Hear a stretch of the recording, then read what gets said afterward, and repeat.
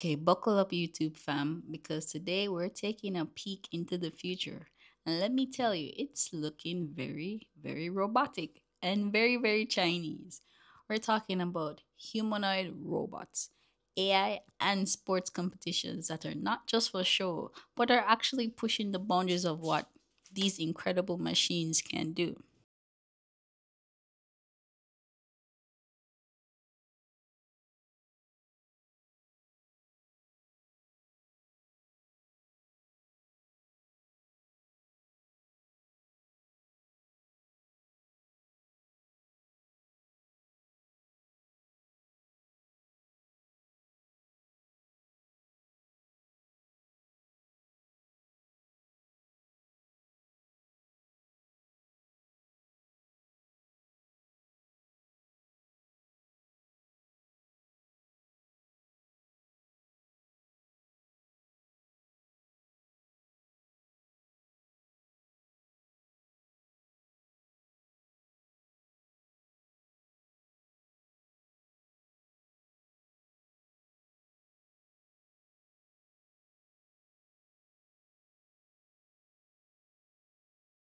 First off, let's talk about the big picture. China is absolutely dominating the robotics scene right now.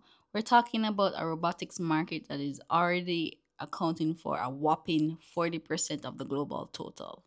It is projected to grow to an insane 108 billion by 2028. You know, China is making things cheaper and is also becoming an innovation hub, driving the next generation of robotics development. Now, you may be wondering how are they doing it? Well, one of the most fascinating ways is through sports. And forget your traditional labs and sterile testing environments. China is using real world sports competitions like marathons, boxing, and football as the ultimate proving ground for these AI powered humanoids. It's like high stakes, real time stress for their algorithms and hardware software systems. You might have already seen some clips floating around, and yeah, these robot footballers may look a little bit like teeny tiny tipsy seven year olds stumbling about the football pitch, but don't let that fool you. What happened in Beijing was a massive breakthrough. These humanoid robots, dressed in their black and their purple jerseys, played a 5 3 match controlled entirely by their built in algorithms with zero human remote control. It wasn't about the lightning speed action, it was about demonstrating balance, agility, and AI powered decision making. They could detect the ball from 18 meters away with 90% accuracy. They could identify the goal, the pitch, and even their opponents, making real time decisions based on all that input. And get this, they're even designed to stand up on their own after falling. Though, let's be real, sometimes they still needed a little help getting up off the field on a stretcher, which honestly just adds to the realism, right? and this Robot Football League was actually a preview for something even bigger. In the 2025 World Humanoid Robot Games happening in Beijing from August 15th to 17th, we're talking about 11 humanoid sports events, including gymnastics, track and field, and of course, football. Over 30 international teams have already pre registered, bringing their cutting edge algorithms to the table. But it's not just football. China has been pushing the envelope with other sports too. Back in April, Beijing hosted a humanoid half marathon. While only six out of the 21 robots finished the race, and some even had their heads roll off, it was a crucial step in testing their stability, autonomy, and efficiency in real world conditions. And then there was robot kickboxing. In May, Hangzhou saw a robot kickboxing tournament. Robotic limbs were flailing and robots keeled over. But then again, these events are all about pushing the technology forward. So, what's the secret sauce behind these increasingly agile robots? It's a type of AI called reinforcement learning. Think of it like this the robots learn through trial and error, much like how we learn from our mistakes. They're trained in countless simulated situations to make real time decisions. Whether it's passing, dribbling, shooting, or even predicting a teammate's movement, This is a huge leap from the older methods that required extensive human programming and didn't adapt well in new situations. Cheng Hao, the CEO of Booster Robotics, the company supplying the robots for these events, perfectly summed it up when he said that the sports competitions are the ideal testing ground. They help accelerate the development of both the algorithms and the integrated hardware software systems. And a key point he emphasizes is safety.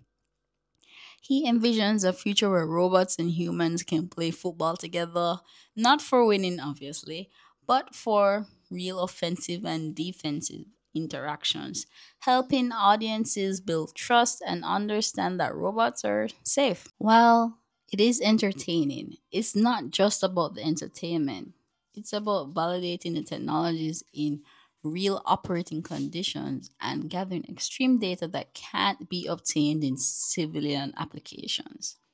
It's about preparing these humanoids for real world applications from factories and space stations to even assisting in emergency responses. China is clearly investing heavily in this field, and these robot sports competitions are a brilliant way to showcase their advancements and inspire the next generation of innovators. It's a clear signal that China is not just a market leader, but a true innovation hub in the world of robotics. And honestly, who wouldn't want to watch a robot boxing match in the future, folks? And it's happening right now in China. China's robot sports are truly pushing the boundaries of what's possible, showing us a future where humans and machines can interact in incredible ways. Betul, betul, Pik. Betul, betul, Pik.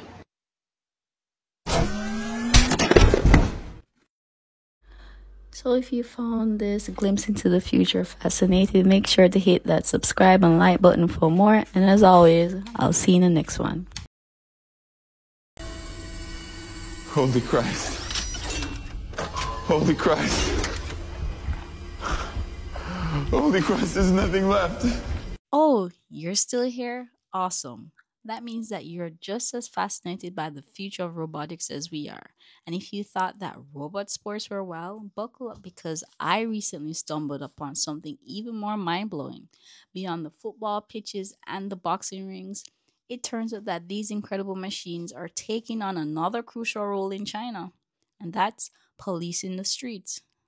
We're talking about robots patrolling, monitoring, and potentially even enforcing law and order it raises a whole new set of questions about privacy, safety, and the role of AI in our daily lives. It's a topic that's far too big to squeeze into this video, but if you're as intrigued as I am and you want to see more, a full deep dive into China's robot police force, let me know in the comments below. Just comment Robocop down below, and if we get enough interest, I might just make that our next video.